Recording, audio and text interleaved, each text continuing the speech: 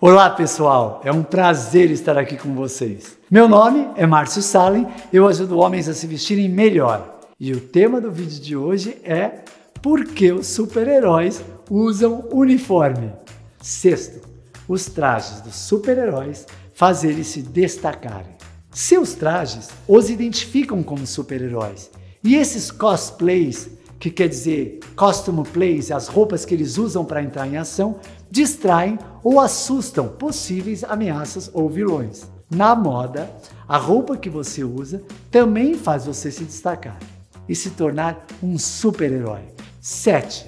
As roupas dos super-heróis passam autoridade. Assim como o policial, o médico, os militares, os bombeiros, os trajes dos super-heróis passam autoridade para as pessoas. Na moda, você também passa autoridade quando se veste bem. As pessoas pressupõem que você tem um real motivo para estar se vestindo daquela forma. 8. Os trajes fazem deles heróis que fazem coisas incríveis. Os super-heróis são indivíduos incríveis que estão usando seus talentos para fazer o bem ao mundo. Na moda, quando você se sente bem, acontece o mesmo. Você passa a sensação que é uma pessoa com poder para fazer coisas incríveis. 9.